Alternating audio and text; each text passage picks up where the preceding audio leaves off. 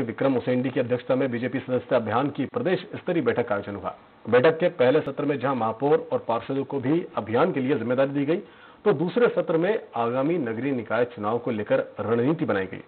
BJP कार्यालय कुशाभाऊ ठाकरे परिसर में बैठक का आयोजन हुआ। विक्रम उसेंडी ने कहा कि अब तक की सदस्यता अभियान की प्रगति को लेकर समीक्षा की जाएगी। सभी वरिष्ठ और कनिष्ठ और सदस्य सदस्यता अभियान में जुटे हुए हैं।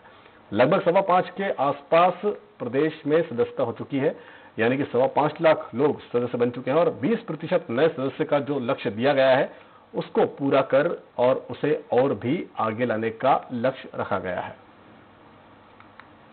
हम सब लगे हुए हैं और निश्चित रूप से अभी, जो इसका शुभारंभ हुआ है 6 जुलाई से और 11 अगस्त तक चलने वाला है। उसमें एक महत्वपूर्ण कड़ी के रूप में एक शहरी क्षेत्र में क्या बेहतर स्थिति है सदस्य अभियान को लेकर इसमें बहुत सारी चीज़ों की समीक्षा के साथ साथ आने वाले समय में ठीक है, चर्चा तो होगी।